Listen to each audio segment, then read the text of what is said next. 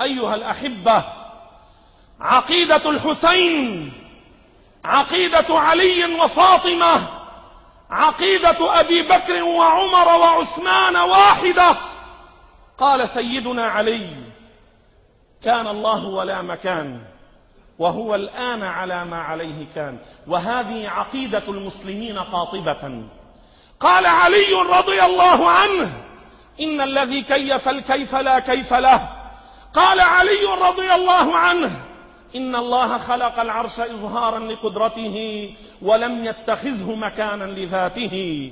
وقال ولده الحسين في تنزيه الله تعالى لا يمس وهو منزه عن الحواس. هذا كلام الحسين. وهذا زين العابدين علي بن الحسين بن علي بن أبي طالب. في يوم عرفة يقول لا إله إلا أنت سبحانك لا يحويك مكان لا تحس ولا تمس ولا تجس ولا تحس.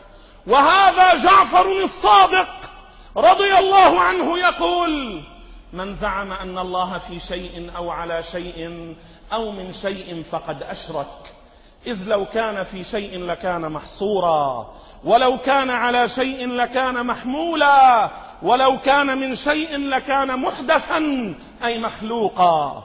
فعقيدة أهل البيت هي عقيدة الصحابة هي عقيدة كل أهل الحق هي عقيدة الأمة الإسلامية. الله موجود بلا مكان ليس كمثله شيء فاثبتوا على حبهم وعلى نهجهم وعلى عقيدتهم. حشرنا الله معهم. هذا وأستغفر الله لي ولكم. فيا فوز المستغفرين. علي بن أبي طالب رضي الله عنه وأرضاه قال إن الذي كيف الكيف لا كيف له. من روى هذا الكلام عن علي؟ رواه عدد من العلماء. منهم أبو إسحاق الأسفرايني. ومين؟ الحافظ أبو نعيم الأصبهاني في كتابه حلية الأولياء في المجلد الأول. هذا نص من الصحابة على نفي الكيفية عن الله. لما اجى واحد يهودي عند سيدنا علي وقال له يا علي أين الله؟ قال إن الذي أين الأين لا أين له. قال له صدقت. رجع قال له وهذا سؤال كفر. رجع سأله سؤال كفري. قال له كيف الله؟ قال له إن الذي كيف الكيف لا كيف له. قال صدقت ثم تشهد ودخل في الإسلام. هذا اللي كان يهودي أسلم. في هذه المسألة سلم لعلي. ليش؟ لأنه كان اطلع على بعض ما في التوراة الأصلية من تنزيه الله عن الجسم والمكان. فقال علي أخذ من محمد ومحمد ينزل عليه الوحي وافق جوابه ما في التوراة الأصلية إذا هو صادق. هذا قول علي. وفي مثل هذا يؤخذ بقول علي الذي وافق القرآن أم يؤخذ بقول مئة ألف إنسان إن عارض القرآن بقول علي؟ أما لو جاب لك تريلا قاطرة ومقطورة وترين وراها معبية كتب عم بتقول على زعم والكيف مجهول. هل يؤخذ بها؟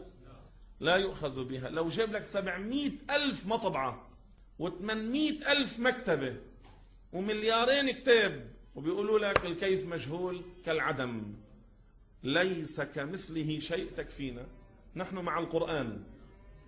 ليس كمثله شيء.